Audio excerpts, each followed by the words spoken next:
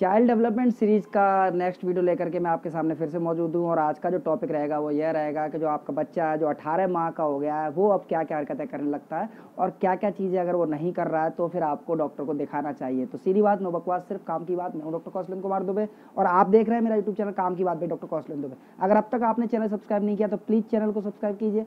Bell icon का button दबाइए, जिससे काम की बात सबसे पहले आपके पास पहुँचे। इससे पहले भी मैं जो वीडियो बना चुका हूँ, चार से पाँच वीडियो मैं अभी तक इस सीरीज़ में बना चुका हूँ, अगर वो आपने ना देखे हों तो आप परवरिश जो प्लेलिस्ट है, उसमें जा करके भी आप उसे देख सकते हैं। मैं जो है डिस्क्रिप्शन बॉक्स में भी उनके जो लिंक है, वो उनको डाल दूँगा, वहाँ से भी आप उनको देख सकते हैं। अब आपका बच्चा अठारह माह का हो गया, यानी कि वो डेढ़ साल का हो गया, और डेढ़ साल का बच्चा है, वो चलने लगता है, सधे हुए कदमों से तो वो नहीं चलने लगता, वो बार बार गिरता भी है, लेकिन वो चलने लगता है और आपकी जो जान पहचान वाली प्रक्रिया है, उनका जवाब वो देने लगता है। जैसे ताली बजाने लगेगा, आपका बाय हेलो टाटा का जवाब वो देने लगता है। वो चित्रों को पहचानने लगता है, किताबों में अगर आप उसको दिखाएँगे, कोई चीज़ दिखाएँगे, वस्तु दिखाएँगे और उसका नाम उसे याद कराने की कोशिश करेंगे तो वो नाम से उस वस्तु को पहचानने लगता है। अगर आप उसे पढ़ाने की कोशिश करेंगे, बॉडी के जो अंग पार्ट है, उनको बताने की कोशिश करेंगे तो वो उन्हें भी पहचानने लगता है। तो 18 माह के बच्चों के गार्जियन को डॉक्टर जो सलाह देते हैं, वो यह कहते हैं, प्रश्न पूछें उनसे उनसे बात करें, उनको प्रोत्साहित करें बात करने के लिए। तो बात करने के लिए लालायत रहेंगे वो बात करने की कोशिश करेंगे।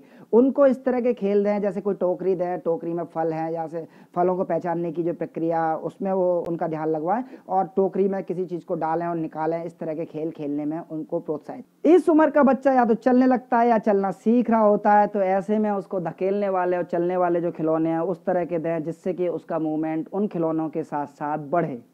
अठारह माह के बच्चे को फल दें और कई सारी रंग बिरंगी चीज़ें आप बॉल दे सकते हैं और उनको पहचानने को कहें, फलों के नाम बताएँ, उनको पहचानने को कहें। आप एक टोकरी दें, उसमें उसको रखने को, नाम के साथ उसको रखने को और निकालने को बोले, इसमें भी बच्चों को काफ़ी आनंद आता है। अठारह माह के बच्चों से सरल प्रश्न पूछें और उनको बात करने के लिए प्रोत्साहित करें, वो ज़रूर पक्का जवाब देते हैं। तो फटाफट से जान लेते हैं कि कौन कौन से वो चिन्ह अगर वो बच्चे में आपको दिखाई देते हैं, तुरंत आपको अपने डॉक्टर को दिखाना चाहिए। तो जैसे कि बच्चा जो है, वो खड़ा नहीं हो पा रहा अपने पैरों पर, यानी कि उसे सहारा देना पड़ रहा है तो फिर यह खतरे का चिन्ह आपको डॉक्टर को दिखाना चाहिए। अठारह माह का बच्चा अगर माँ के इशारों का, उसकी बातों का जवाब नहीं दे रहा है, वो अपनी धुन में ही मस्त है और ये लगातार हो रहा है तो फिर यह भी खतरे का चिन्ह आपको डॉक्टर को दिखाना ज़रूर चाहिए। अगर आप छोटी छोटी वस्तुएँ देते हैं, फल देते हैं और वो उनको टोकरी में नहीं डाल पा रहा है, टोकरी से नहीं निकाल पा रहा है तो यहाँ पर भी यह दिक्कत है और आपको अपने डॉक्टर को दिखाना चाहिए। रोज़मर्रा के जो कार्य हैं, उनमें बच्चा अगर एक ही हाथ का बार बार प्रयोग कर रहा है, दोनों हाथ का बराबर प्रयोग नहीं कर रहा है और यह लगातार हो रहा है तो यह भी एक खतरे का चिन्ह आपको अपने डॉक्टर को दिखाना चाहिए। अठारह माह के बच्चे से अगर आप कोई प्रश्न पूछते हैं या कुछ पूछते हैं कि बेटा वो चीज़ कहाँ है और वो इशारों से जवाब नहीं दे पा रहा है और ऐसा फिर लगातार हो रहा है